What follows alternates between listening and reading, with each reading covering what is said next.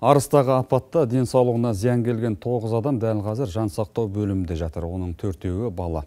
Бүгін бұл жайлы денсаулық сақтау министрі Елжан Біртанов орталық коммуникациялар орталығындағы брифингте айтты. Жалпы 24-27 маусым аралығында Арыстағы апаттан түрлі дене жарақатын алған 409 адам медициналық көмекке жүгінген. Соның 329-ына амбулаторлық көмек көрсетіліп үйіне жіберілсе, қалған 80-і ауруханаға жатқызылған. Соның 15-і бүгінде үйіне оралса, біреуі ауруханада қайтыс болды. Дәл қазір ауруханада жатқан 64 адамның 9-ы жансақтау бөлімінде. Олардың жағдайы ауыр деді бүгін министр.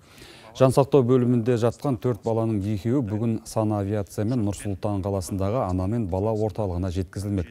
Ал қалған екеуінің өмірі үшін алматылық дәрігерлер күресетін болады. ана мен бала орталығында екі баланы біз бүгін алып келеміз ол 2005 және 2002 туылған жылы олардың диагноздары ми жарақат жалпы жат, жат, ауруханаларда жатқан адамдың 90 пайызы 64 науқастың елу алтысы ол түрлі түрлі жарақаттар алған.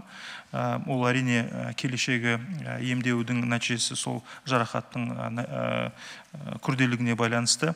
Сонымен қатар алты науқас түтінмен уланған және екі науқас отпен күйген.